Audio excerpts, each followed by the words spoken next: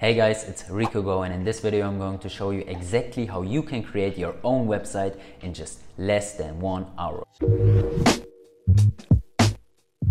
I'm going to create ricardogorski.com, which is a German landing page for my marketing consulting business in Germany. So you know exactly how I create my website and based on that you will create your own website. The total price of this website for a 12 month web hosting plan was 53 euros and 75 cents. The SSL certificate as well as the domain registration were both free included in this plan that I'm going to show you later on. This is going to be a temporary design on my website and the more professional one will follow very soon. But for the main purpose to show you how a website can look like in just 60 minutes. It is totally fine and this is the main purpose of this website. So let's go. There are four big steps for you to create your own website and that is one the domain registration two the web hosting three the website setup and four the content publishment. And i'm going to explain every step in this video in detail as well as three optional steps and that is one the designing part two seo optimization and free marketing in general for your website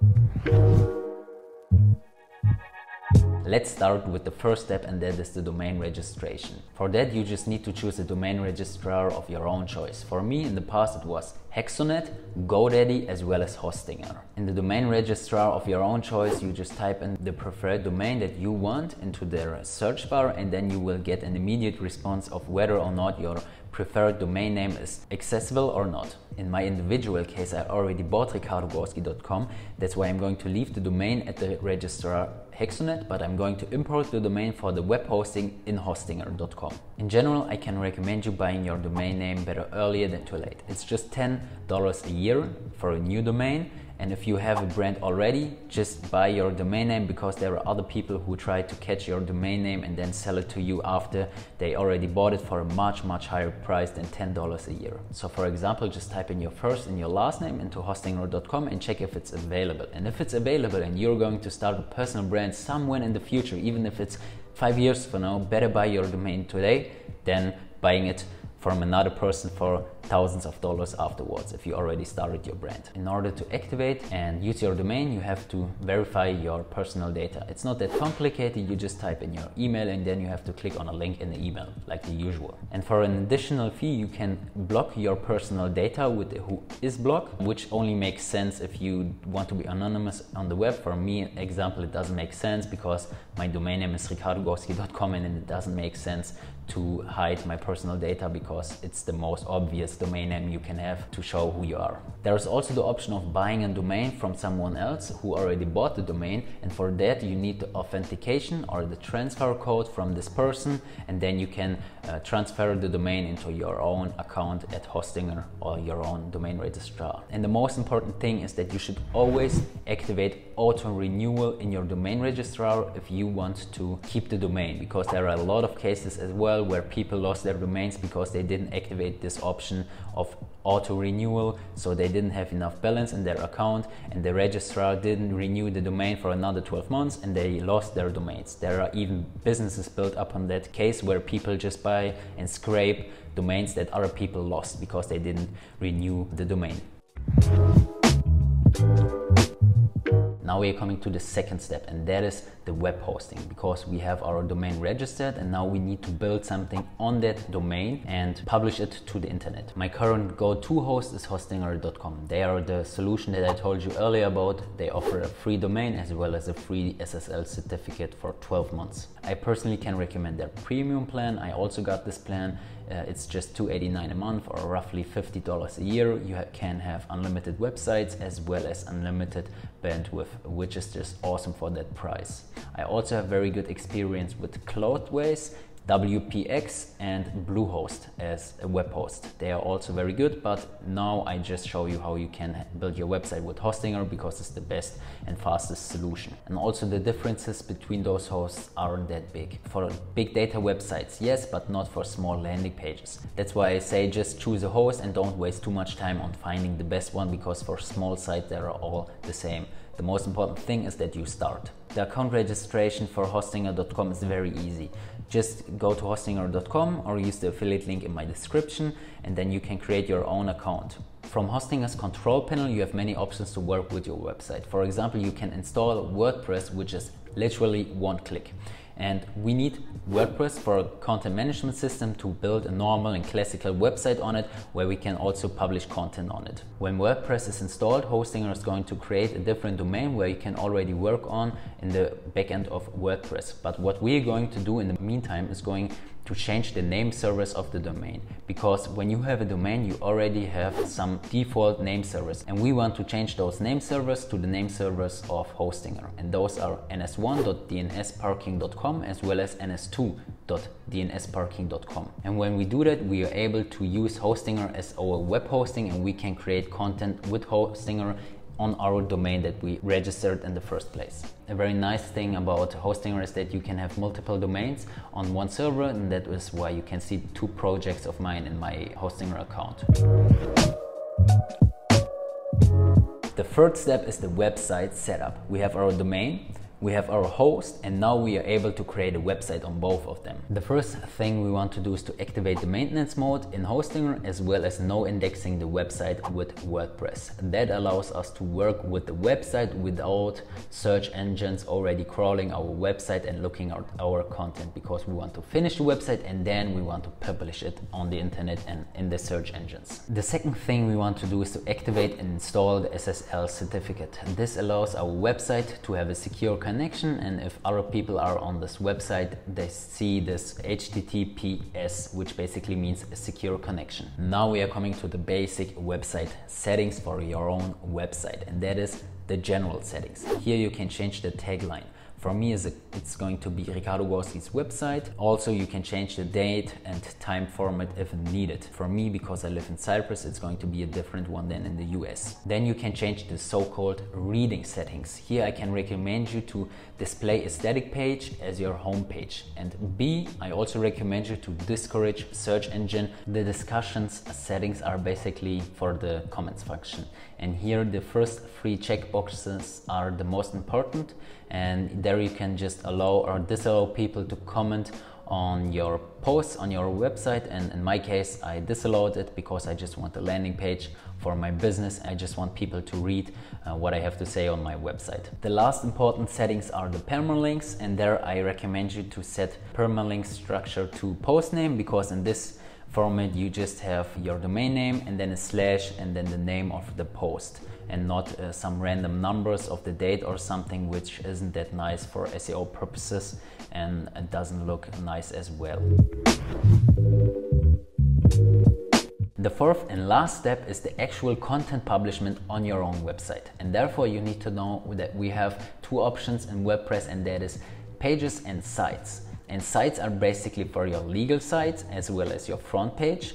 And pages are for your blog, for example, for multiple, multiple pages to scale. And for both of them, we have two options to edit the content on the website. And that is a with the WordPress editor itself, but here we have restriction regarding design, but it's very easy. And B, we have editing with an Elementor Live Editor, which is by default installed from Hostinger. And we are going to use this one because we just have a little bit more options regarding the design and customization part. In WordPress, we click on pages, then we click on the front page and we're going to click on edit with Elementor.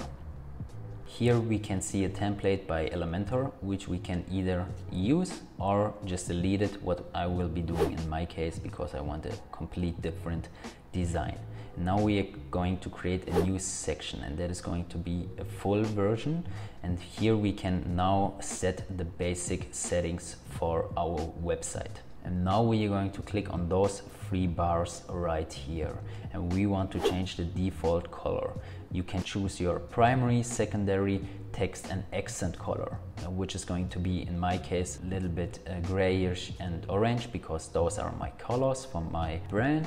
We click on apply and then we go back and we can change the default fonts. The primary one, the secondary one, the body text and the accent one. The font on my website is going to be Oswald, that's why I always uh, chose this font also click on apply and now we go back again. Now we have our first section created and we're going to click on those six uh, little dots right here. We're going to click on style and then we change the background color to black because I like black and then we need a new uh, column. So I'm going to drag and drop the image and in the second column I'm going to drag and drop the text editor. Right here I'm going to upload my picture that I already uploaded before and right here I'm going to write a little bit about myself and I'm a marketing consultant, I'm a brand builder and I'm an entrepreneur. And by clicking on this right here I have the option to add some new widgets. Again I'm going to add a heading on top of this and I'm going to write here my name Ricardo Gorski. I'm going to change here the HTML tag to an H1 because it's the most important uh, text. Right here I'm going to change the style of the text color to white and I'm going to have this as my first section. What I want now is a new section with four columns. In all of those columns I want buttons. So we're going to create button 1, button 2, button 3 as well as button 4 of course. I'm also going to change the background color of this section. In this case, it's going to be blue. And I want the buttons to the color yellow. We're going to change the text color to black from those buttons. In the style area right here, black for this button as well, black black as you can see it is very very easy to customize your buttons and then we are going to change the content of the buttons. In the first place I want a, about me in German and the second one I want references of my work which is going to be projects and the third one I want my social media accounts and in the fourth one I want a section about people so they can contact me. And now we're going to create the first section and that is the about me section. I want in the first column the heading in the second column I want a text editor and then I'm going to duplicate this section. Of course you may already guessed it four times. In the first heading I'm going to write the about me. And the second I'm going to write projects. Third social media. And then contact. I'm going to change the color of those fonts to black. Again text color black. Again text color black. Now I'm going to change the text color of the text as well to black for all of them. And now I'm going to add the text part right here in the about me section that I've already pre-written. In projects, I'm going to add a, another text about all my projects with the bulleted list. So it's the Invest First GmbH, as well as my other projects in the social media part, we are going to add a different widget and that is going to be the social icons. And on the sidebar, we have the option to add some items and that's what we are going to do. So we are going to use Instagram, of course, which is not in default. And then we're going to remove Twitter because I don't use Twitter and we're going to add a LinkedIn. We're going to insert it and then we have the option to add our social media accounts with the link, which I'm going to do right now. Now I've added all my social media links and I'm going to add a contact form right here for people to be able to send me a message on my website. And therefore we are going to use a WordPress plugin called contact form, which is also going to be installed when you install WordPress. And therefore we need to add the widget shortcode. And in a new tab we're going to go to WP Forms. Right here we're going to copy the shortcode for the contact form we're going to add this in our shortcode and within seconds as you can see the contact form was added and now you may ask yourself why did I add buttons right here and the answer for that is that I want those buttons to redirect me with a jump link to the right section right here. So I click on social media and I get redirected immediately to social media. And how we're going to do that is very simple. We click on contact and on contact we're going to add a CSS ID and we're going to name it contact of course and when we go to contact button we're going to go to content and we create a link right here as you can see with the hashtag and the hashtag contact is going to redirect us to contact. Did you see it? So I click on contact button right now here and I get redirected with a jump link to the bottom of the page to the right section. And that is awesome in my opinion. That's what I'm going to do for every button right now. So I go to social media, I go to advanced, I create a CSS ID called social minus media. Then I go to the social media button, I add a, link that is going to be hashtag social media and now we are able to click on the social media button and we get also redirected to the social media section. So this is just a little fun and there are so many more ways you can customize your own website. This is just a little brief introduction to WordPress. I'm going to do some little design changes now and then I'm going to show you the end result. So now I'm done after 10 minutes of doing some little design changes. This is the end result as you can see um, I added a new section right here for the mobile version because now we're coming to something very important and that is that we have the option right here in the bottom as the in the responsive mode to change uh, the tablet as well as the mobile version of this website. And in the mobile version you can see that I removed uh, this uh, buttons area because it doesn't really make sense because you just scroll on your phone and I added instead the my latest video section just in the phone version. And yeah as you can see I pretty much made it very mobile ready. So it also looks good on phone as well as the tablet version right here.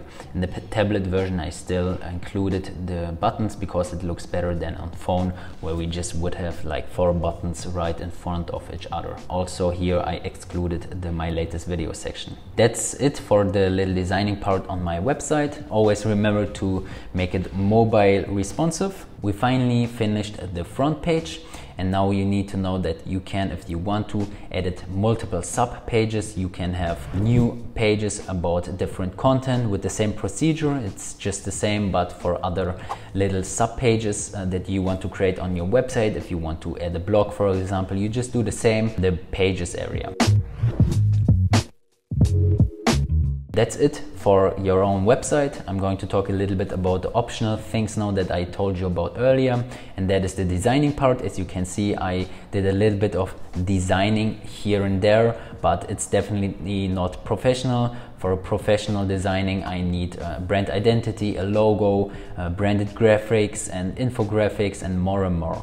But for a basic, basic, basic website that you probably want if you want to watch this video, it's okay and then we coming to the SEO optimization part. Here I can recommend you doing a keyword and competitor analysis uh, for the content you're going to publish. Also added the meta titles, description, as well as some other SEO optimizations part on the body content itself. For example, you need to look at the heading structure and that you just have one H1 for example, but all of this is going to be too technical so we can't discuss this in this video but in future videos or you can just research it yourself as well as performance plugins. So WordPress also gives you the option to install plugins uh, like we did with the WP Forms plugin for example and then you have more options to get a better experience on your website.